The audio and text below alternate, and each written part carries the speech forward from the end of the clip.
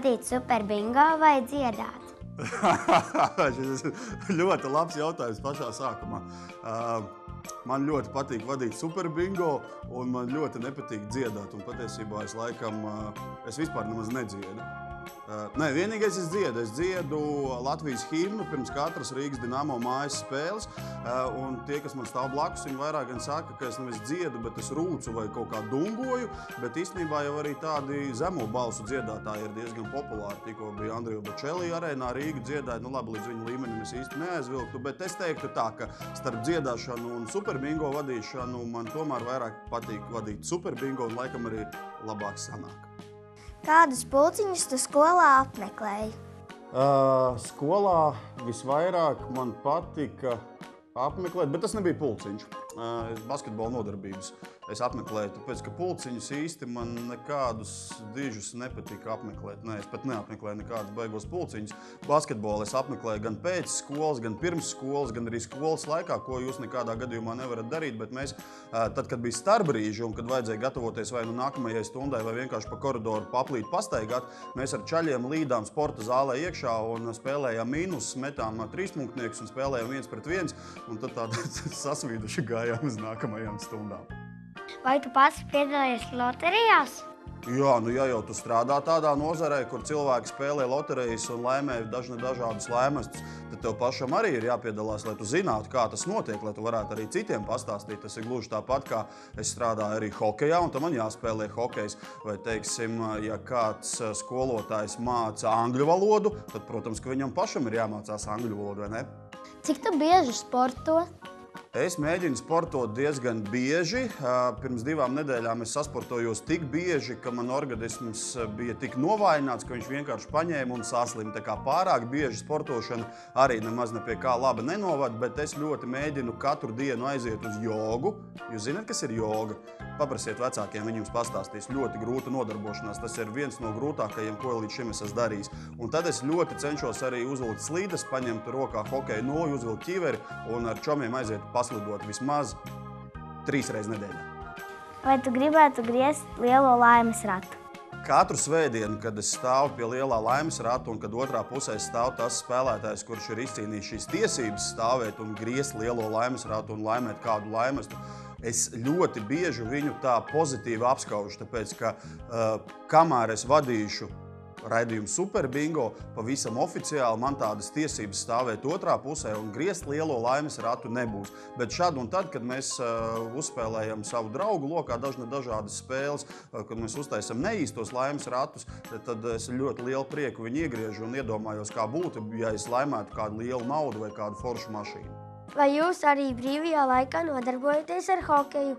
Arī brīvajā laikā es mēģinu nodarboties ar hokeju. Šobrīd, kad es ar jums runāju, patiesībā uz kalendāra rāda svētdienu. Tātad tas ir brīvais laiks, kad jāpavada kopā ar ģimeni. Un šodien es kopā ar saviem draugiem braukšu spēlēt hokeju. Un mūsējie šodien arī spēlē lielo hokeju Minskā. Tā kā, ja man ir tāds brīvais laiks, tad es ar lielāko prieku mēģinu uzlabot savus hokeja spēlēšanas prasmes. Vai esi kādreiz slidojot nokritis? Es esmu ne tikai slidojot nokritis, bet es esmu arī nokritis tā, ka ļoti sāpīgi piecelties. Es esmu apdauzījis gan ceļus, gan elkoņus, gan pieri. Un it īpaši, ja kāds to hokeja laukumā palīdz nokrist, pagrūžot, tad īstenībā ir diezgan sāpīgi. Un pēc dažiem kritieniem ir bijis tā, ka es nevaru pastaigāt veselu nedēļu, un tad man jāiet pie doktora, jātaisa rengens, tad uz ceļa vai uz potītes uzliek dažne dažādas saites ar smērēm, un tad ilgāk laika tu atkal nevari iziet uz laukumu laukumu un paspēlēt. Un tad es esmu ritīgi dusmīgs uz to pretinieku spēlētāju, kurš man ir tā darījis pāri, vai nu arī es esmu dusmīgs uz sevi, jo es nevarēju noturēties kājās. Vai tu plāno audzēt arī bārdu, ne tikai ūsas? Haha! Nu, redziet, kā es jūs piemānīju. Tad, kad jūs uzdevāt šos jautājumus, tad jūs vēl domājāt, ka man ir ūsas, bet pirms četrām dienām es ūsas aizdzinu projām. Un tagad viņas sāk saukt pavisam no uh, nulītes, bet bārda jau ir nedaudz vairāk izaugusi, bet es gribētu arī itīgi izaudzēt gan lielu bārdu, gan lielu ūsas. Varbūt nākamreiz, kad mēs ar jums runāsimies, tas varētu būt uz kādu Ziemassvētku pasākumu atkal, nu tad gan man būs ritīga bārda vārdu un ritīgi liels ūsas. Sarunāts? Vai tu svini Latvijas dzimšanas dienu? Jā, Mēs mūsu ģimenē ļoti nopietni attiecamies pret visiem svētkiem, it īpaši pret valsts svētkiem.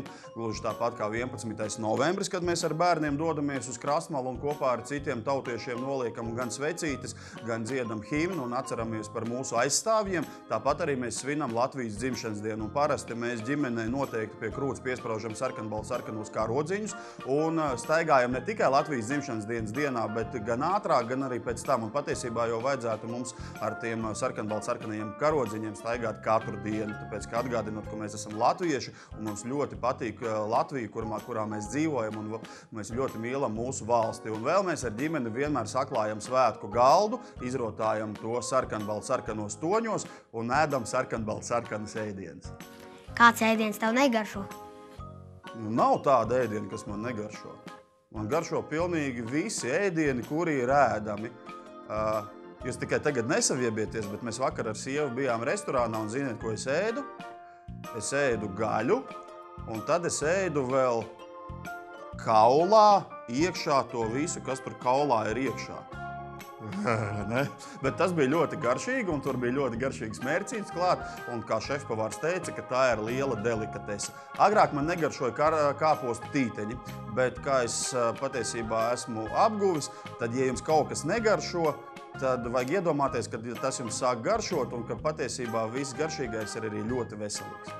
Kuru piezīmi tu atceries, ko tev ierakstīja dienas grāmatā skolotāja? Oi, šito gan nekādā gadījumā es jums neļauju atkārtot, lai tādas piezīmes būtu jūsu dienas grāmatās, bet es atceros, tā bija kāda, nu, varētu būt 8. klase, varbūt pat 9. klase, ka man vienā nedēļā, nu kā dienas grāmatā ir pirmdiena, otrdiena, trešdiena, ceturtdiena un piekdiena, man katru dienu bija sarkan uzrakstīts, ka Armāns ir nokavējis vismaz 4 vai 5 stundas. Tur ar sarkanu viss bija sastrīpots. Uh, bet es jums nestāstīšu, kāpēc es tās stundas kavēju. Man bija savs iemesls, kāpēc es tā darīju. Vai tu pats esi spēlējis Super Bingo? Jā, tikko braucot uz šo interviju, lai atbildētu uz jūsu uzdotajiem jautājumiem, es aizbraucu pārbaudīt savas biļetes, kuras es biju iegādājies uz iepriekšējo izlozi. Nu, diemžēl šoreiz man nekāda laimesta nebija, bet šad un tad man ir kāds maziņš laimests, par ko es ļoti priecājos un joprojām ļoti gaidīšu, kad man būs lielākais laimests, kāds viens superbingo ir iespējams. Mīļākais sporta veids! Mīļākie sporta veidi man ir vairāki. Šobrīd man noteikti mīļākais sporta veids ir hokejs. Ziniet, kāpēc? Tāpēc, ka tur var grūstīties, spļaudīties, Un, un, un šad arī, šad arī pateikt kādu smagāku vārdu. Bet hokejs ir nepieciešams priekš tādiem kā mēs, kuri ikdienā strādā pie datora, raksta iesniegumus un visu laiku zvana kādam citam cilvēkam. Tad mums hokejs ir nepieciešams, lai mēs varētu atkal uzlādēt pozitīvās emocijas. Un šad un tad tās pozitīvās emocijas notiek tā, ka tev kārtīgi ir jāsasvīst, kārtīgi ir jāpagrūstās un kārtīgi ir jāizskraidās. Šad un tad man patīk arī uzvilkt boxa cimdus, Tiesa gan pēdējā laikā man tas sanāk daudz mazāk izdarīt, bet uh, ar boxa cimdiem padauzīt pa maisu. Un vēl man ļoti patīk doties uz jogu, kur ir 40 grādi, kur var uzvilkt tikai peldbikses un 90 uh, minūšu garumā tev ir jāvingro un tu ļoti, ļoti svīsti. Tas man ļoti patīk. Ko tu esi darījis mūsu valsts labā? Tas nu gan ir tāds ļoti labs un grūts jautājums. Atbildi uzreiz tā man nemaz nenāk prātā. Bet uh, es domāju, ka mūsu valsts labā mēs kopā ar sievu esam darījuši to, ka mums mājās ir trīs brīnišķīgas meitas. Uh, un vēl es domāju, ka mēs darām to, ka mēs dzīvojam joprojām Latvijā, ka mēs nebraucam prom, ka mēs strādājam Latvijā un joprojām runājam pasaulē viskaistākajā valodā, proti, latviešu valodā. Ko tev labāk patīk vadīt superbingo vai hokeja pasākumus? Man patīk vadīt gan superbingo, gan patīk vadīt arī hokeja pasākumus, un patīk vadīt arī dažne dažādus citus pasākumus. Man vēl ļoti patīk, tad, kad man piezvana skolēni no dažādām skolām, un uh, man ir iespēja aizbraukt pie skolēniem ciemos un parunāt gan par superbingo, gan par hokeju, gan arī par uh, to darbu, ko es daru. Tā kā patiesībā man patīk vadīt pilnīgi visu. Vai tu pats spēlē hokeju un kā tev sanāk? Eh, Es pats spēlēju hokeju. Sanāk, man eh, patiesībā varbūt labāk uz laukuma izskatīties nekā spēlēt hokeju. Tāpēc, ka tādiem spēlētājiem kā es, kuri agrāk nekad nav nodarbojušies ar hokeju un sākuši to darīt tikai pirms vairākiem gadiem, ļoti svarīgi, kad ir kājās labākās slīdes, ka rokā ir labākā nūja un ka galvā ir smukākā ķivere. Tas nekas, ka vienalga to ar slidām nevar paslidot tik labi kā citi ar mazliet sliktākām slidām, vai arī ka tava ripa nelido tik ātri, sitot ar tavu labo nūju, kā citi sit varbūt ar nedaudz sliktāku nūju, un ka tev galvā varbūt ir daudz spīdīgāka ķivere nekā citiem. Bet, kā mēs sakām, ja tu kaut ko dari, tad tev jādara ir ar pārliecību, un galvenais, ja tu kaut ko dari, tad tev ir ļoti labi jāizskatās. Ko tu visvairāk gribētu laimēt, naudu vai automašīnu? Es gribētu laimēt lielu, lielu, lielu, lielu, lielu, lielu milzīgu lielu naudu. Tad es nopirku jums visiem ļoti daudz, visu kaut kādas garšīgas končus un šokolādes. Tad mēs aizietu visi kopā uz visām filmām, uz kurām vien mēs varam aiziet. Un tad es vēl nopirktu dažna, dažādas mašīnas gan sev, gan savai mammai un tētim un māsai nopirkt arī gan mašīnu, gan māju nopirkt. Jā, un tā kā, ja man būtu ļoti daudz naudas, tad es diezgan daudz visiem kaut ko būtu nopircis. Kurš spēlētājs no Dienāmo tev ir vislabākais draugs?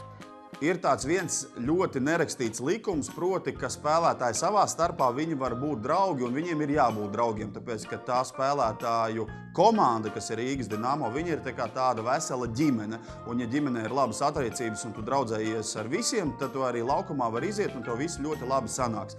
Bet ņemot vērā, ka es strādāju hokeja komandā Dienāmo un man jārūpējās par saviem spēlētājiem, lai viņiem nekas netrūks, lai viņiem ir mašīnas, lai viņiem ir dzīvokļi, lai viņu suņiem ir paklāji mājās, tad patiesībā es tā, ka ļoti draudzēties ar spēlētājiem nemaz nevaru. Tāpēc, ka es nevaru sadalīt, kurš man būs lielāks draugs un kurš man būs labāks draugs, un varbūt arī nedaudz netik labs draugs. Man ir ļoti labas attiecības ar visiem maniem spēlētājiem, bet par draudzību es gan to nevarētu nosaukt. Vai tu šobrīd gribētu mācīties un ko? Šausmīgs jautājums.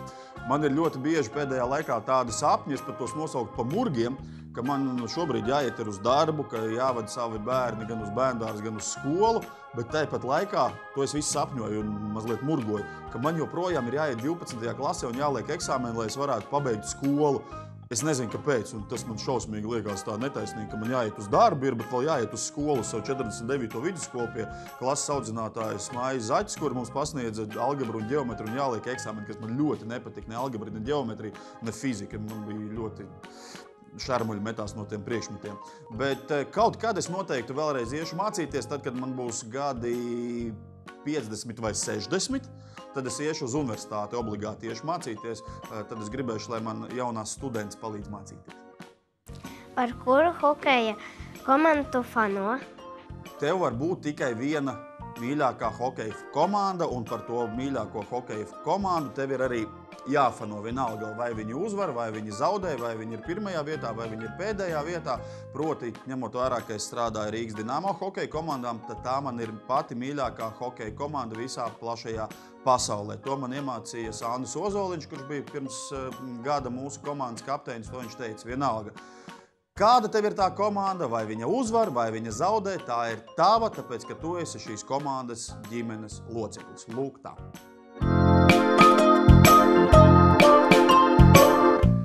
Es pats dzīvoju pēc tāda principa, ka man ļoti patīk smaidīt, un man ļoti patīk uh, pozitīvas emocijas un teikt uh, visiem apkārtējiem, ka viss ir ļoti labi un ļoti forši. Ja jūs zinat, ka fizikā ir tāds rakstīts un pats galvenais likums, ka pretējie poli pievelkās, tas teiksim, mīnus. Ar plusu tad viņi činks sanāk kopā ritīgi, bet atkal vienādie poli, mīnus ar mīnusu vai pluss ar plusu, attiecīgi viņi tā kā iet katrs uz savu pusi. Uh, man patīk domāt, un es pēc tāda pozitīva principa dzīvoju, ka plusiņi pievelkās. Un jo vairāk tu dari labas lietas, jo vairāk tu sev tos plusiņus savāji, sakrāji, un tev pašam labāk ir dzīvot. Tā kā es visiem gribētu novēlēt, pēc iespējas vairāk smaidīt, nedusmoties vienam uz otru. Ja kāds kaut ko sliktu arī pasaka, tad neapvainoties vismaz uz nezinu, veselu nedēļu, bet diezgan ātri piedot. Tāpēc, ka vislabākais, kas mums var būt, ir pēc iespējas vairāk paziņu, pēc iespējas vairāk draugu, kuriem grūtā brīdī mēs visi varētu piezvanīt un palūgt palīdzību.